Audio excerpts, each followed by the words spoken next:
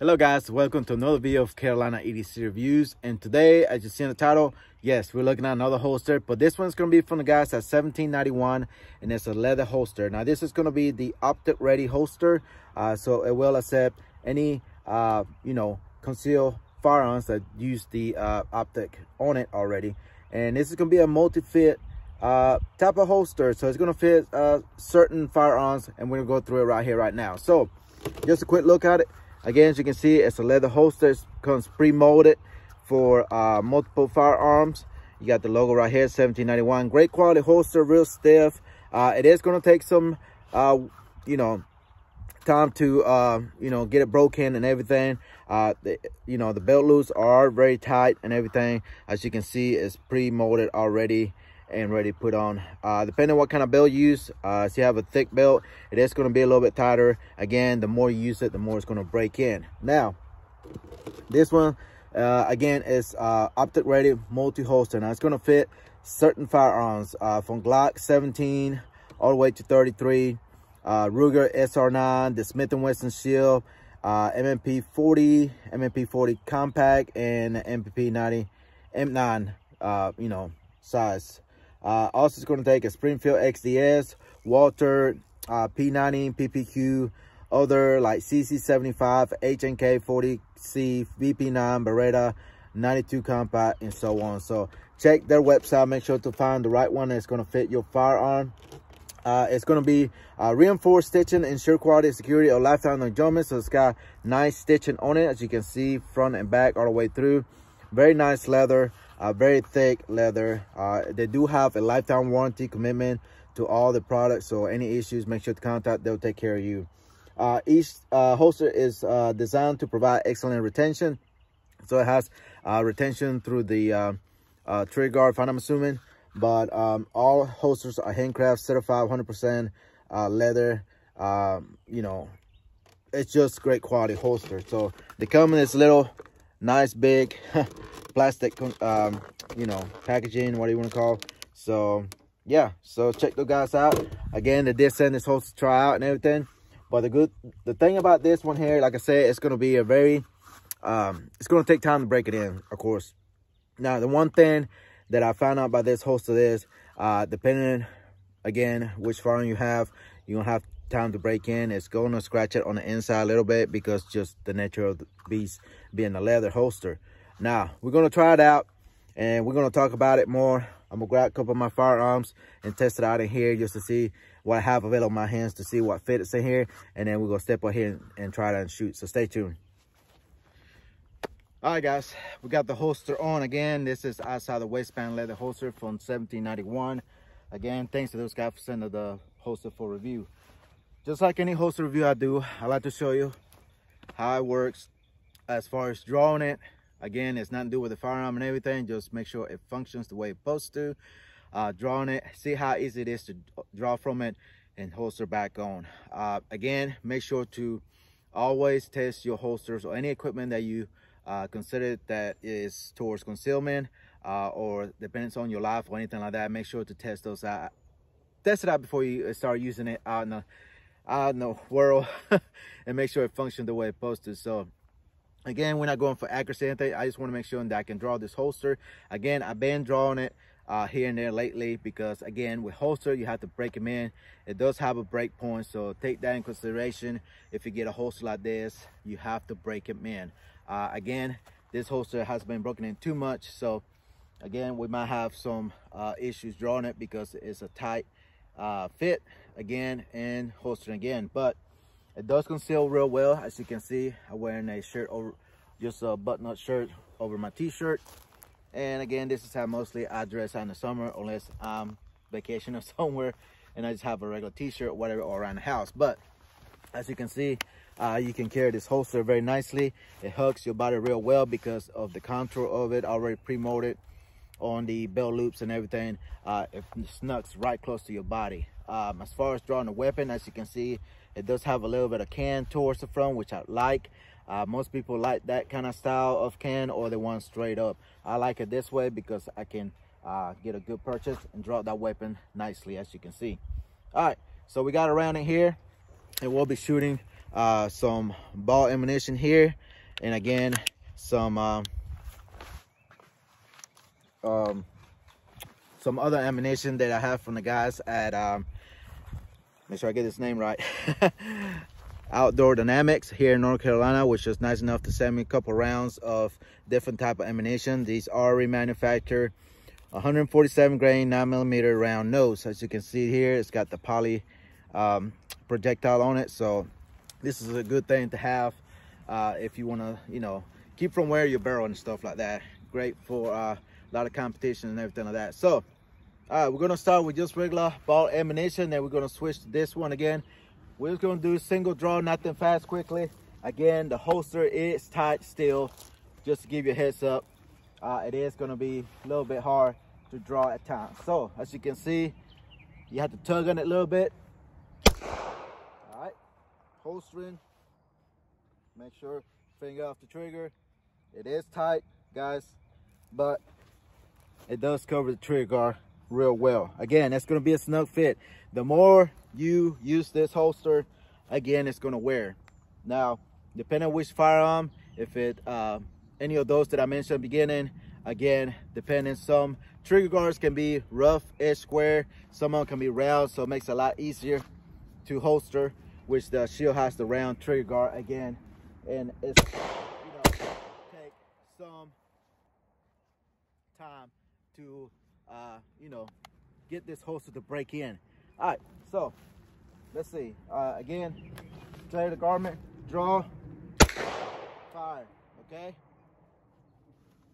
Finger off the trigger. I always like to kind of move my body a little bit at an angle, kind of keep the firearm pointing that direction just in case any discharge, the round is gonna go off my body, away from my body, at least try to get away from my body. So uh, make sure to train again. All right. So clear garment, get a good purchase here. Finger ready and.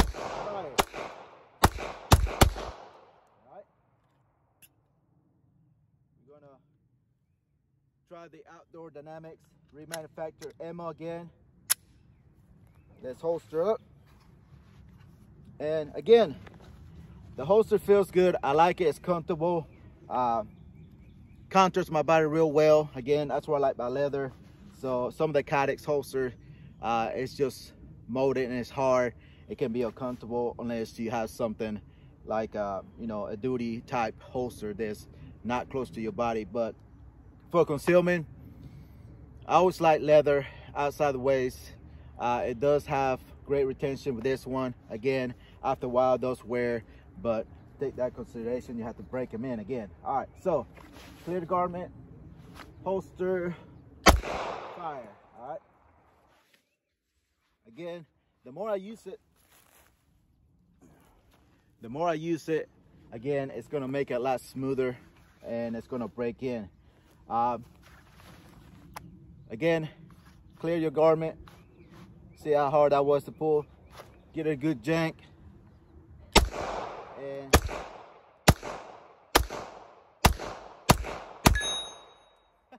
know I was doing that, but hey, that ammo worked just fine. All right, so as far as again holstering, very easy. You have to push in a little bit hard to get it in there and make sure you cover the trigger guard. Again, the more you draw it, the more it's gonna wear. Again, very easy to put on again through loop. Once you start wearing again that's to wear out and it's to be a lot uh, you know contra to your body. All right so yeah that's pretty much it. Again there's nobody here with me so i can point the firearm safe direction. I'm in the middle of nowhere. So again when i holster i cam my body just a little bit just to be on the safe side and then just you know holster your weapon safely. Guys again um, train, train, train. Make sure to use your gear. Make sure it works for you. It works for the firearm and everything else. Make sure that it covers the trigger guard. Again, it's all come to preference. What you like, Kydex. If you want that clicker retention, you know, that's fine and dandy as well. But, you know, holster is just as good because uh, in the summertime, it's a lot comfortable. Uh, especially, you know, if you live in a place that's very humid, you want to protect your firearm as well for keeping from rusting or anything like that, which, you know, you're gonna sweat a lot. It's got a nice high sweat guard that covers all the way to the top of the back of the firearm right here, which is very nice. And you got that little can, which I really like, and it gives you a great uh, purchase on the weapon. It's not in the way or nothing. Uh, I get a good grip on it and just unholster that firearm safely. All right, guys, that's pretty much it. Let's step out to my vehicle, give you my final opinion, the pros and cons of a holster like this, and everything else. So stay tuned. Right, guys, you see the uh, 1791 holster here, the multi-fit with ready optic, which I didn't show here. Me shooting because, again, with this M&P, ah, the M&P here that I have full size is um, very tight fit. Again, one thing I want to mention is, again, with the pros, it's going to be molded real well. Again, uh, it's going to be comfortable, durable, uh, protects the firearm, and it's just all around comfortable. And the thing about this one is, not like in many holster, leather holster they have out there, they're not ready, op optic ready for your firearm. So that's a good thing to have. Uh, it's not going to be light bearing compatible. So that's the only uh, thing bad thing about it. So I say that's a con. Uh, but other than that, ready optic is going to work for you again. Uh, if you do have a compact, it may fit a little better, but take in consideration that uh, it's going to be a tight fit as you can see it does have the opening on the bottom. So if you have a thread barrel it's going to protrude right there through it. Uh, again it's going to be you know uh, shaped for the optic ready like I was mentioning. And with the multiple firearms you can fit uh, it's going to work. So if you have a high suppressor sight it's going to catch in there it's going to have to uh, cut a groove in there after a while and uh, make it fit in there. Most kind of you know reasonable in there. But as far as getting the trigger cover and everything you either um, a lot of people leave the firearms in here with some uh, wax paper and then just uh, get it wet and you know try to get it shape in there. But uh, my opinion the more you use it the more it's going to wear out. Make that groove in there. Just draw and holster. Just draw and holster.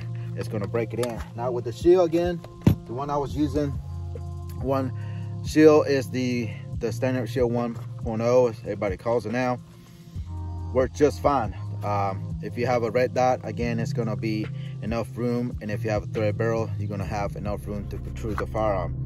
All right so in my opinion i think it's a great holster. Again it does take time to break it in. That's the only con uh, as far as it goes. And if you have high suppressor it's gonna kind of cut a groove in there or catch into it. Just gotta keep again break it in. That's the, that's the bad thing about holsters like this. That's the only bad thing about holsters is breaking them in try to get your firearm to work in there but they make it so tight tolerance so they make sure they have a good retention as far as it goes. So all right guys i think that's enough. I have to say about this holster again uh thank you to 1791 for sending the holster for me to check it out. Uh really like it. It's gonna be a great candidate for M&P shield. Or anything smaller on that nature again um, this is the Optic Ready 2.1 multi-fit belt holster from 1791. As you can see right there, it gives you a little options or options of what firearms will fit in there. All right, guys, that's pretty much it. That's all I have as usual. Thank you for watching. Uh, thank you all new subscribers for watching this. If you're not subscribed, make sure to give this video a big thumbs up and subscribe. Follow me on all social medias. Uh, go to my all social medias and follow me there as well because a lot more to come.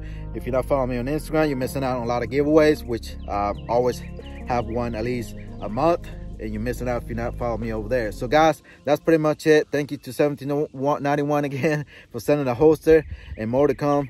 Stay tuned. Have a good one